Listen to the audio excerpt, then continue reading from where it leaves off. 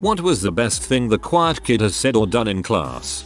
There was a guy named Phil in my high school psychology class who had pretty severe Asperger's. People were often mean to him because high school, but I genuinely liked him.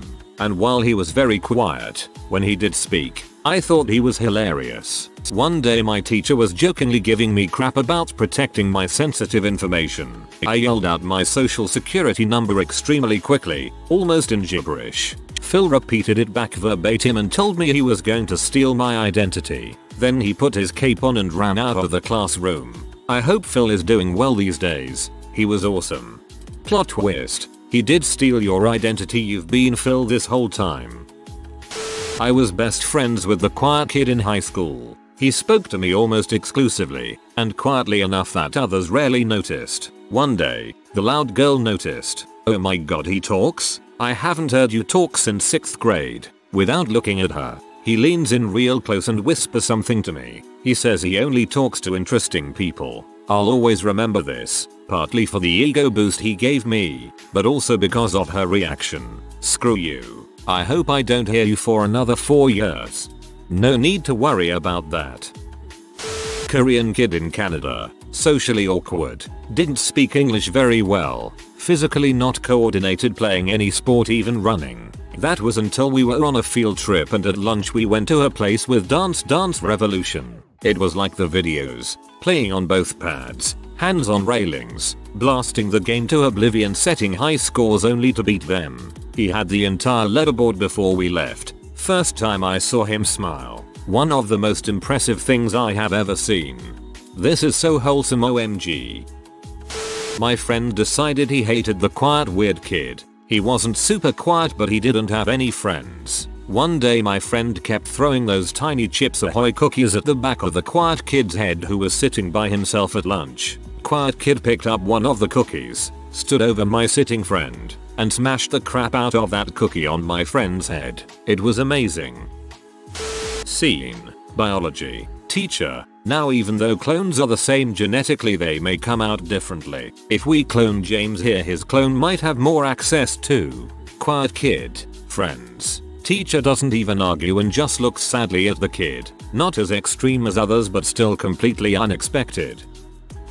Not in school, but I teach middle to high school kids, 13-17, how to umpire baseball games. There was one kid, 13 years old, who was very quiet, reserved and shy and I thought, this is not the vocation for him. A week later I swing by the field to evaluate him and see if I can help him with anything. I arrived about 5 minutes after the game started and I could hear loud, confident and definitive calls coming from this kid. I was floored. His mom came up to me and said that becoming an umpire has completely changed his personality. This is such a happy little story I'm so glad he found a hobby that helped him flourish. 6th grade science class. Teacher was out of the room and we were fricking around with hot plates. While messing around one of my classmates burns his hand pretty bad on a hot plate and has to go to the nurse. Right after he leaves the room, quiet kid enters and casually says smells like burnt flesh in here and just sits down like it was nothing. Everyone turned and just stared at him. 7th grade, new kid named Nick started school halfway through the year. He sat next to me in English class and didn't say anything ever. One day, we were reading poems out loud and critiquing each other. One sorry fellow readers, and every line started with if I was a bird. If I was a bird, I'd live in a tree. If I was a bird, I'd fly to school. If I was a bird, a few people offered polite criticism. The teacher called on Nick for his opinion, and he said, if I was a bird, I'd poop on all of you. He got kicked out of class and I still laugh every time I think about it. We became friends and he was actually a pretty nice guy. I think he just couldn't resist making that joke. This is the first comment that made me laugh out loud, and I don't really know why. There was a girl who went the entirety of middle school never speaking a word unless absolutely necessary. One day the class was being rowdy while the teacher was out of the room and in the raspiest, deepest voice ever yelled shut up. We all shut up. I immediately imagined this girl to look like a female Chester Bennington. I remember going to junior high in this small hick town in Texas while I was on probation. That's a long story. Had a quiet kid who was actually really popular. Not bullied at all like most quiet kids. Anyway, I was new, had only been going to the school for about a month when this happened. We had a substitute teacher for one of our classes. She was doing a quick roll call and got to his name, Pargus. She said that's an interesting and beautiful name. What does it mean he said lice. There was dead silence and confused looks all around. This kid had been going to this school since kindergarten. Small town. And had always gone by Pargus which was his nickname. Nobody had a freaking clue what it meant, let alone that it was his real name. All of his paperwork at the school had to be updated and everything. I thought it was hilarious. Beat the crap out of the kid that kept poking touching slapping at him. I think it was around the seventh time he said dude please stop before the blood came. There was a fly in the room. He threw his pencil straight up and freaking skewered the fly and the pencil got stuck in the ceiling. It was those really weak plaster tile things but it was the coolest thing I've ever seen. I wish I could go back in time and record it.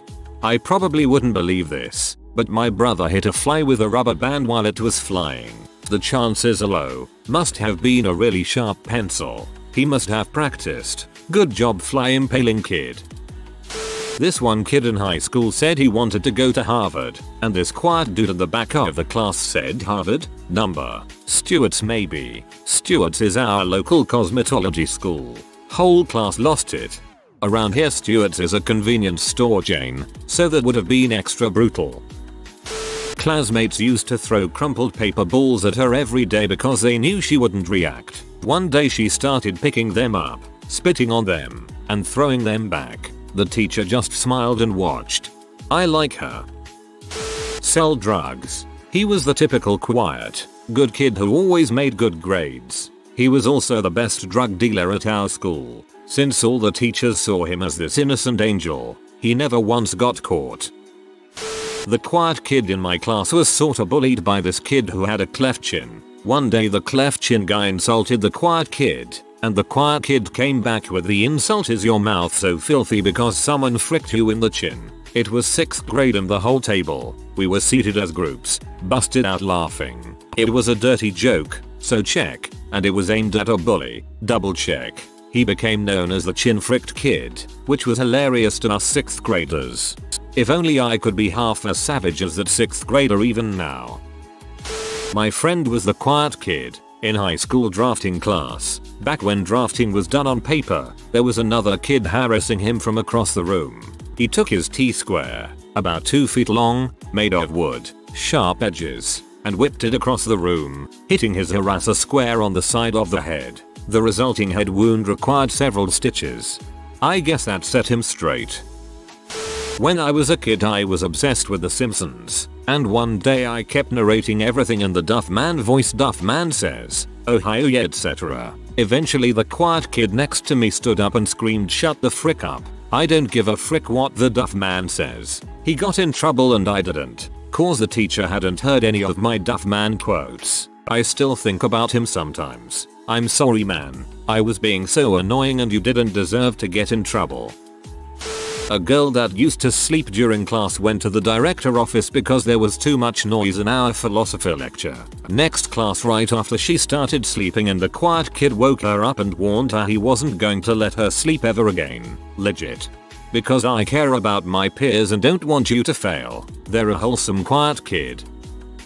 My wife told me of a really really quiet kid in her class. No one ever heard him speak because he has some sort of mental thing and the teacher knew not to call on him. The last week of school this kid finally speaks. 100% British. This is in the cornfields of the Midwest.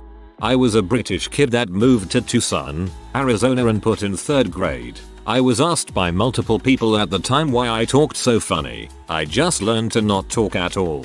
The culture change was shocking enough for me anyway from English school to American school. I was in a marketing class once and the instructor put up a slide with advertisements for Axe body spray. He asked the class what do you think this product is for and the quiet guy piped up and said birth control. We're in health class, on the topic of domestic abuse. Somehow the subject turns to how Britney Spears received backlash for abusing her kids. A kid in the back says, probably because she hit her baby one more time. We had a kid at our high school who refused to speak for the entirety of our high school career. even if a teacher called on him. The day we graduated he spoke for the first time. His reasoning for his 4 years of silence was just because I could. Absolute madman.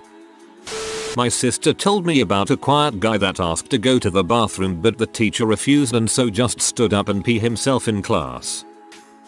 Quiet kid in my theater class. They're for the crew type jobs. Our teacher asks us questions daily, and the day's question was what's your favorite Easter candy, or normal candy if you don't celebrate? One kid said chocolate bunnies, and the teacher asked what they liked it filled with. Kids chimed in with stuff like peanut butter or marshmallow cream but this girl just says organs, in the most monotone voice imaginable.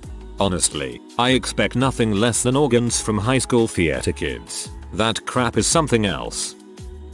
A little short blonde girl with a really high pitched voice read a poem she wrote about how death is unescapable and everyone will die. The quiet and somewhat creepy kid in my class for poetry came with an erotic one about ocular penetration. It was actually quite poetic inserting metaphors about how ocular sex pierces the window to the soul and allows one afterwards to look directly into it. Geometry teacher was bragging about how well he drew circles and going on about how one day he would draw a perfect circle. He asked us what would happen if he drew a perfect circle. My friend, a sweet, quiet girl says rather loudly you die. Can't really remember the reaction of the class, but I laughed and the teacher looked totally crushed. Makes sense since you can't draw a prefix circle. The dorky short pudgy kid was being bullied by the really popular class jock. Dork rushed the jock, pulled his shirt over his head and began beating him pretty good hockey style. The jock actually transferred schools the next year. Not sure if it was because of that or what but he wasn't popular anymore. Yeah, being a bully only really works if everyone is afraid of you. You get your crap kicked in by your victim. You lost any respect your behavior gave you. Some pudgy girl was insulting a quiet kid at lunch and said he was a trashcan because all his ideas were garbage. He told her she must be a refrigerator because she seems like where all the food goes. Not a crazy thing but a bit of a mad lad moment. This kid in my class was really short, and one day this big fat kid from a grade above was teasing him. Fat kid says you're the size of my leg little guy goes. You're like the size of my house. We about lost it. In the last trimester semester of senior year, we were assigned a pass-fail essay. If we made any grammatical, stylistic, or formatting mistake, we would fail. It was traditional for the seniors of each year to write and bomb said essay, and the teachers would never stop gloating about how impossible it was. The quiet kid in my class wrote a perfect essay. Smart, nerdy, quiet kid in the front of class, always answered questions correctly when called on. One day the teacher calls on him and before he even answers the teacher just lazily says correct and turns back around to write on the board. The second the teacher turns around, the quiet kid just rockets his pencil upward into the ceiling like an arrow. The teacher doesn't notice. It was just such a sudden, unexpected act of rebellion from the quiet kid that never said anything. The whole class saw it and by the time the teacher turned around the quiet kid was playing it cool as ice and taking notes again. The teacher doesn't notice. Finally the teacher turns around again to ask another question and the entire class is trying not to laugh and everyone is trying not to look at the pencil stuck into the ceiling. The teacher still doesn't notice. A couple of people laugh, and every time the teacher asked what is so funny the situation became even more hilarious. Finally the teacher turns around again and continues the lesson, completely oblivious. It was boring math class and it was the funniest thing that happened all year. Reminds me of when we passed around a note that said see we should all drop our pencils at exactly 12 o'clock. Even the really good kids didn't tattle. And the sub was like WTF. Not in class, but I once had a co-worker who was quiet and adorable and generally kept to herself. But she overheard me call another co-worker a tea waffle to which she responded tea waffles. Sounds delicious. I found the lesbian. Professor was talking about the personalities of different cities and says something like, some cities have a lot of personality and talk a lot, some cities whisper, and some cities don't seem to be saying anything at all. At which point this quiet kid who had never uttered a word says, almost under his breath, Topeka. That was all. Kid had some feelings about Topeka, Kansas. It's hot in Topeka. We were having a class discussion or game or something, and needed to come up with hypothetical situations for some reason. This was 2013, so the band One Direction was extremely popular with some, and hated by the others. Teacher, name a place you'd never find One Direction. Class gets quiet for a split second the same moment quiet kid murmurs. The Grammys. It was almost too perfect, made more perfect by the fact that it was obviously just supposed to be to himself. What a legend. I saw him jotting some stuff down in a little black book. Me. What are you writing? Him. Blank stare. I'm adding you to my death list. This was the early 90s and we would chat from time to time. So it never registered as anything but a dry AF joke. The quiet girl in my class roasts me all the time. Like, She's super shy and all but if it comes to me, she goes all out. Maybe she's into you. In college my friend Harry was the quiet kid but one day, in the dead silence he randomly said oh if I were a turtle. Turtles are the superior form of life. One kid would be able to have super quiet phone conversations with his mom during class. Everyone right next to him would know he was on the phone but the teacher and the rest of the class had no idea. Granted these weren't long convos but they were still hilarious to witness. Sorry if this is anticlimactic. It was something that was a lot better if you went through it haha. There was a quiet kid in my class and he always got up 5 minutes before class ended every day. Like to the exact second. One day he got up 20 minutes before class and I crap you not. The whole class gasped. When the teacher asked him where he was going, he responded I need to go check my blood sugar a little earlier today because I'm going home early to visit Disney. Kid was so quiet, no one even knew he was diabetic. He didn't mention it ever. LOL. Kid was so quiet, no one even knew he was diabetic. He didn't mention it ever. LOL. A lot of us don't like to bring it up.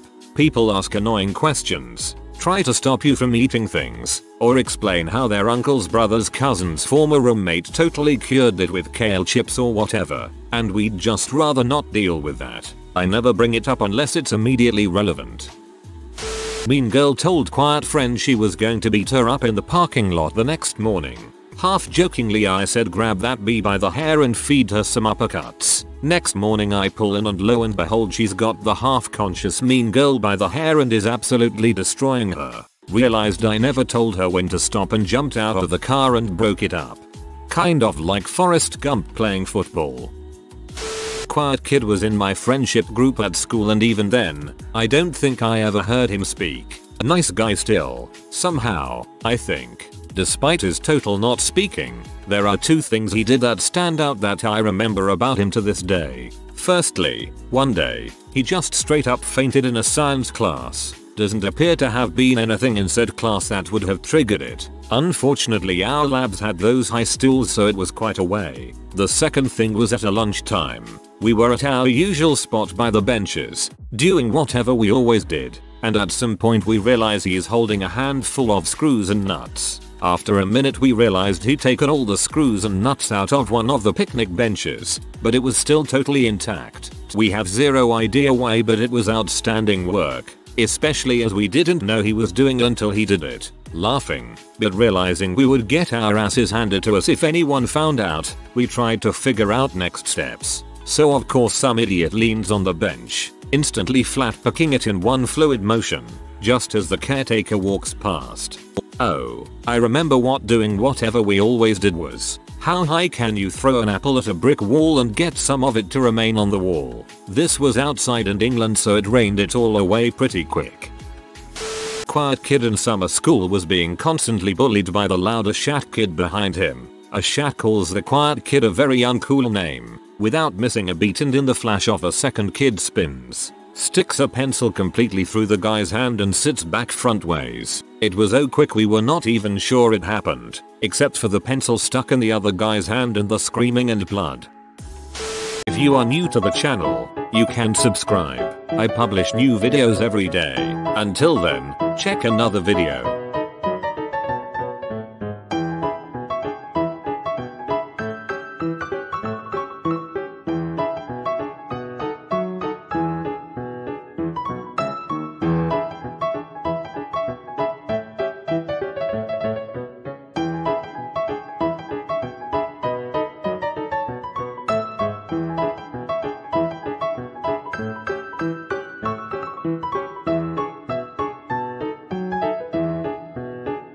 Bye for now.